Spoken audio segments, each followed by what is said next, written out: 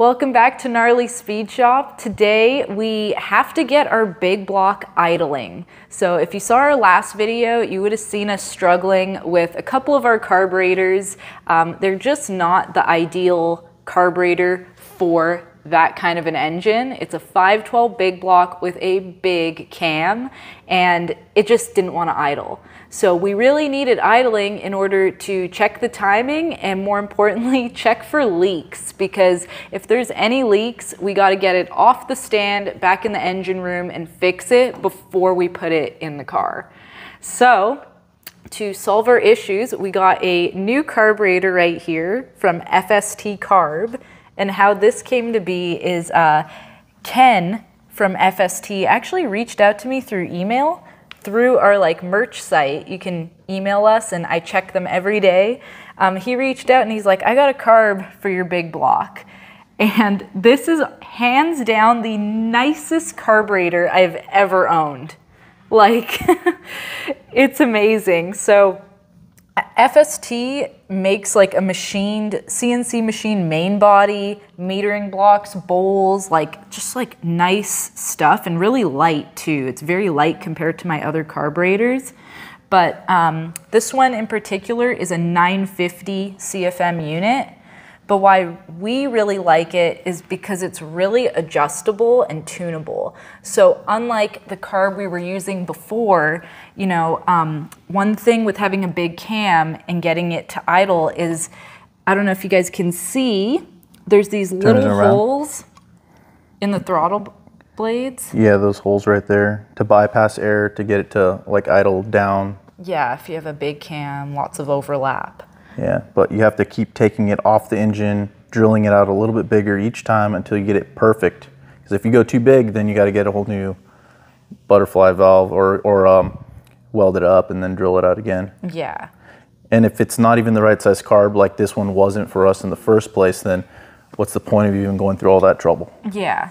So and then we had a cracked that cracked bowl. Yeah, cracked bowl. There was yeah. there's some issues basically. So Ken says this is going to solve it for us, that we can literally just throw this thing on and it's optimized for our engine. Um, him and I went back and forth on like the cam specs, what RPM we plan on running it to, things like that. And uh, they yeah. wet flowed it too. Yeah, they put it on their wet flow bench. So hopefully in the future we can visit FST Carb and show you guys like the facility.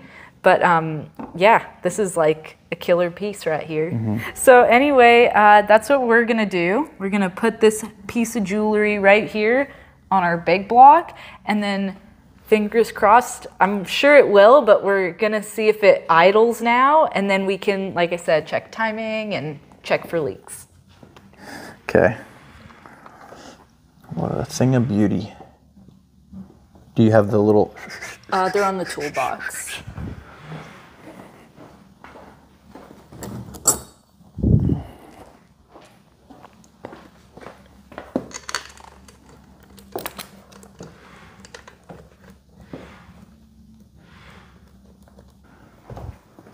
It looks so good on the engine and unfortunately we still have to use this crummy fuel line. Let's fill up that bowl a little bit.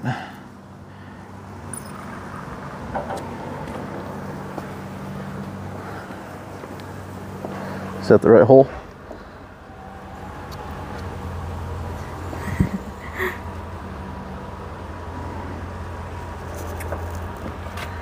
There we go.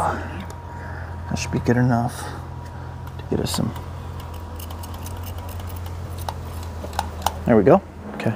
Finally, it's a nice day outside. This is the first time we've run our big block when it hasn't been raining. Yeah, it's kind of nice. Yeah, it's like so nice. So now we're gonna hook up the water. So we have a constant flow of water going through the block and then Danny's just hooking up the fuel The lines. world's fanciest fuel lines yep. carburetor has ever seen. Mm-hmm. Yeah, it's really funny having this like billet carburetor and then these like, what was that from? Uh, just some spare parts we found at the junkyard. um, but we do have a really nice one, but I'm waiting for a fitting to come in for that, an yeah. adapter. Yeah. But this will get us by for now. Okay, so that's tight, that's tight. that's on there where it was before, so we know that's good. Yep. We put fuel in there. We got to turn on the water so it fills up the block. Then it'll just drain out here on its own. Mm-hmm. Yeah. So what we'll do is we'll turn it on slow, the water, until we watch the temperature rise on here until it hits like around like, you know, 160 or so. And then we'll start to open the water a little bit more and control the temperature with the water speed. Okay. You know what I mean? Yeah. Because there's no thermostat in there right now. No. It's just flowing through. so we'll have to keep an eye on that. Yeah. It'll be fun. Okay. Now, We should call the neighbors to tell them it's going to get really loud. I know. All right, so I guess I'm hoping that there's no leaks. Last time we didn't get enough heat in the motor to get the oil thin enough to really test it, so fingers crossed. And let's see if this thing lights off. Ready? Yep. I feel like, it okay, is it in park? ハハハッ。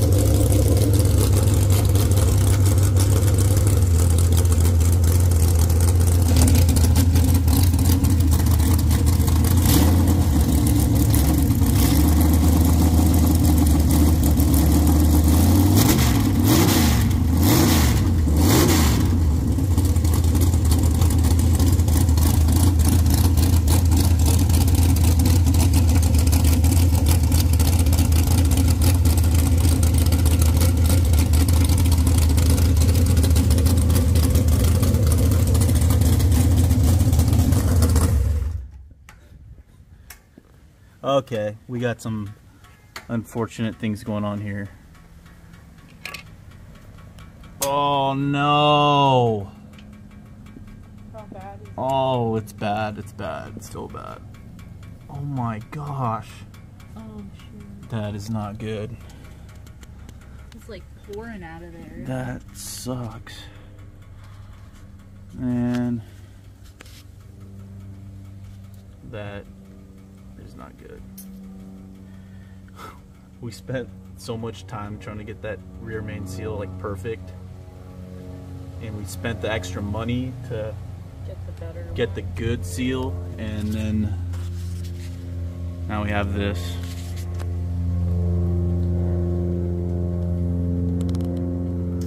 Wow, what a bummer. Like, really- That's gonna be so much work just to get this thing back in the engine room. That's gonna be a lot. Well, guys, a lot of stuff has to come apart now. Unfortunately, like this isn't just. Dang it! I don't understand how that could leak. You know, we, we we put it together so perfectly. We read the instructions and we did it exactly how Fast Fish said to do it. I think I even said that in the other video. I'm like, if this leaks, then I don't even know like what it could be because we did it like so carefully. Well, here we are. Uh, really unfortunate, but at least this happened on the engine stand, right? Not in the car. That was yeah the whole point of the engine stand. so- Yeah, so I guess there is some positive things from this. But, you know, there still is a chance it could be like the cam plug, the plug, the freeze plug thing that goes in the cam area there. Oh. Highly unlikely with that much oil coming out of it. There's a couple plugs back there, which I know I sealed up. Um, but basically, we'll take off the um, the bell housing and the clutch, and then we'll really be able to see what's leaking back there Yeah. because there's also like where the cap goes on there's two seals that go on on the side i mean maybe it's like something right there but we're gonna find it out and we're gonna fix it we have to fix it Yeah. but it sounds dang healthy I know. I'm stoked that it's idling now. That cam is so killer and like once this thing has a muffler on it, you'll really be able to like hear it. yeah yeah ideally i'd like to have a muffler on it while we're running it to listen for the valve train Yeah. but we don't have a three inch muffler or any sort of muffler system right now. Um, so luckily i have those little earpiece the little Yeah. doctor's thing and i could hear the valve train. Everything sounds pretty good. There's this one here in the front. I felt like it was a little bit louder than the rest of them but not not by much. Um, once we have the engine in the engine room we'll take off the valve cover and we'll recheck the lash and and i think we should be fine. So close. almost made it So close. all right, so we had a moment to chill out here for a little bit and really figure out what we're gonna do next.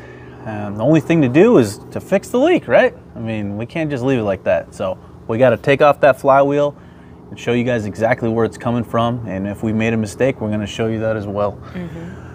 But um, we have another engine that actually needs to go on this run stand. It's a Pontiac 400 cubic inch engine that is for the Firebird that we have in the back of the shop. It's a customer's car, but we're gonna show you us running it on the engine stand in another video. So in a weird way, it's kind of good that we have to take this off of there right now because we have another motor that needs to go on there. Nothing left to do other than uh, get to pulling this thing, but uh, you want to show them the 400 first? Yeah, let's show them the 400. Okay, real quickly, here's the Pontiac motor. It's a 400 cubic inch Pontiac with some goodies on the inside. We'll explain later at the end of the video, but for right now, we'll leave that there. And we gotta get this off of the engine stand.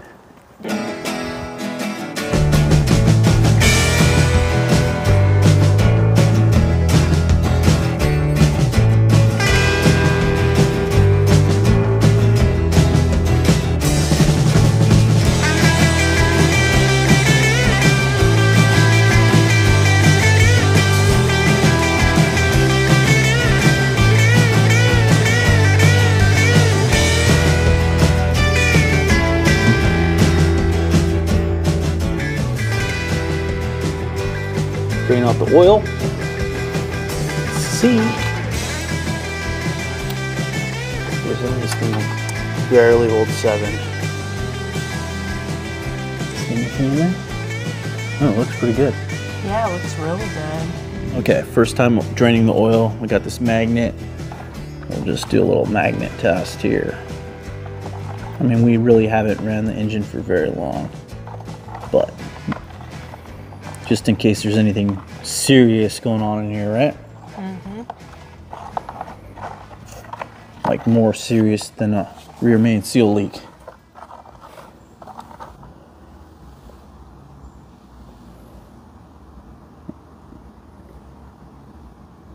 Anything?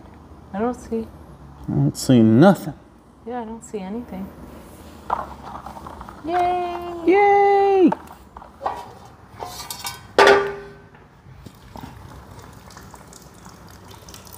What is leaking? Um, the is leaking Oh. front.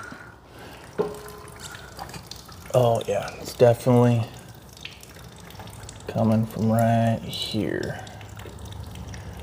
So this is what we get for using the best parts money could buy and taking our sweet time to make sure everything was like super clean and following all the directions to a T.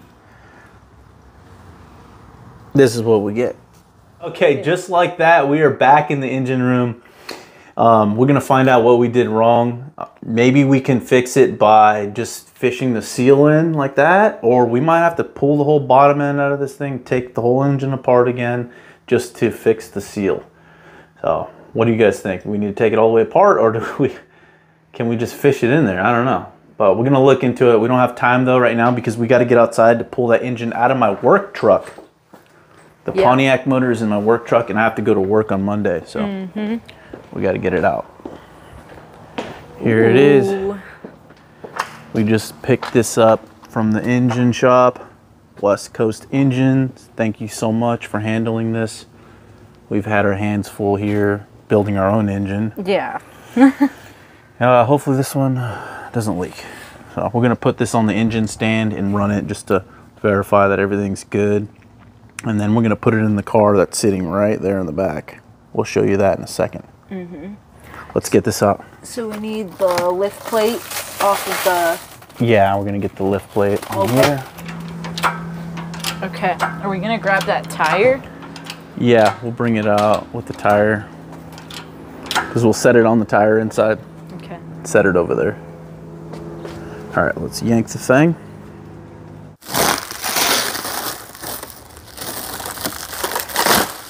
All right, let's see what we got.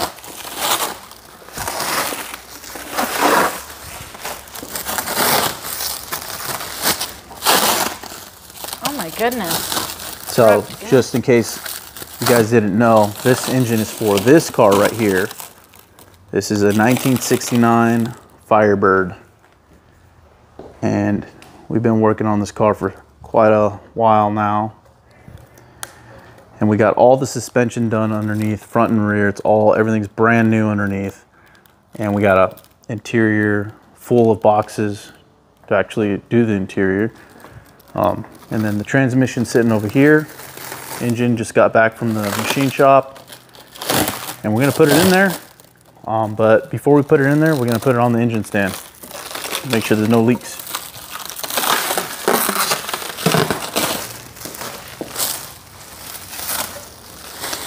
Dang, what a beauty.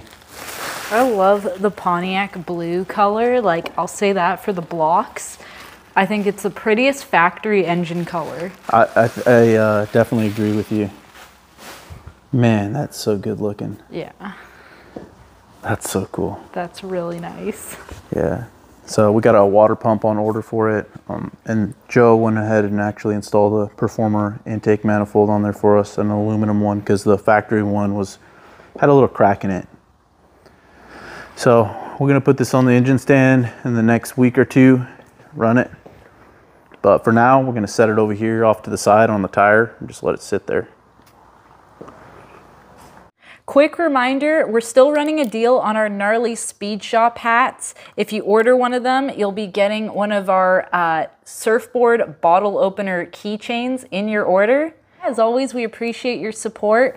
that's gonna do it for today's video. We got the Pontiac safe here in the shop and uh, that pig, we're gonna be diagnosing it and seeing exactly what happened. But uh, when we find out, you guys will be the first to know.